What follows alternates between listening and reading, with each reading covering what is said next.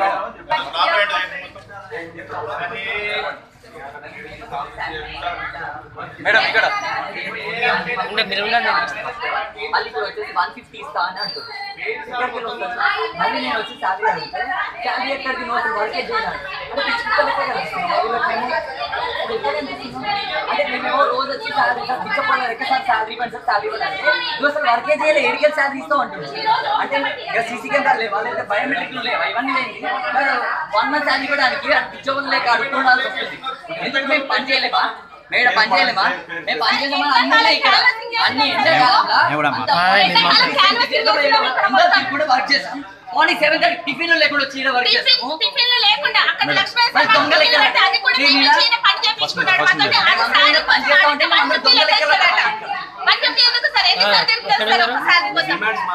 మొత్తం.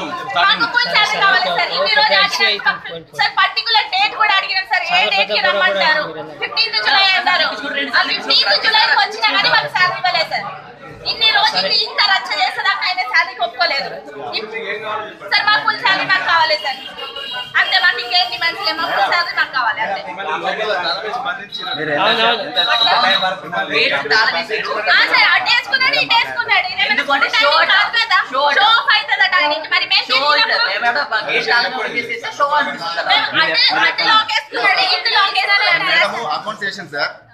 ఇప్పుడు ఏమంటుందంటే మీరు లాస్ వేసారు స్కూల్ లాస్ వేసారు పార్ట్నర్ వేరే. లాస్ ఎవరిది ఉంటుంది సార్? వాళ్ళ వాళ్ళు చూసుకోవాలి ఏమన్నా లాస్ అనేది?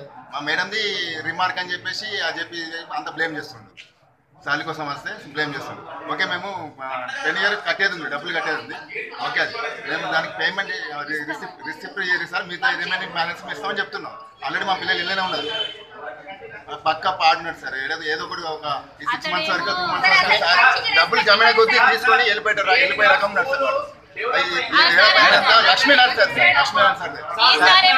మేడం రికార్డ్ ఒకసారి వచ్చిండు చెప్పండి శాలరీ కావాలని స్కూల్కి వచ్చాను వచ్చేసి మై హస్బెండ్కి కాల్ ఇంజూర్ అయింది నాకు ఐ వాంట్ మై సాలరీ అని one and half hour one and half hour బ్రతిమాడి ఏడిస్తే బ్రతిమాడి చేతులు జోడి చేడిస్తే నాకు అప్పుడు వన్ ఫిఫ్టీ రూపీస్ ఇచ్చాడు సార్ వన్ ఫిఫ్టీ రూపీస్ ఎవరికి ఇవ్వమంటారు. ఎవరికి సరిపోద్ది? ఆల్రెడీ తెలుసు నా ఫ్యామిలీ పొజిషన్ తెలుసు. అండ్ నా స్కిల్స్ని యూజ్ చేసుకున్నాడు నా టాలెంట్ని యూజ్ చేసుకున్నాడు. యాన్యువల్ డే అంటే అప్ టు ట్వెల్వ్ వరకు వర్క్ చేసాం మార్నింగ్ సిక్స్కి వచ్చాము క్యాన్వసింగ్కి రమ్మంటారు. సెవెన్ ఓ క్లాక్కి గేట్ లాక్ ఉంటుంది సార్ రాడు గేట్ లాక్ ఉంటుంది. ఎవరి కోసం? వచ్చి గేట్ల ముందు కూర్చున్న పక్కన షాప్ అన్నయ్యలు ఎందుకమ్మా కూర్చుంటారు? టైం కి రావచ్చు కదా అని పక్కన షాప్ వాళ్ళు అంటారు. ముందటున్న వాళ్ళు అంటారు. అందరూ వచ్చి చూస్తారు. గేట్కి లాక్ ఉంటుంది మాకు. సాలరీ అడిగి గంట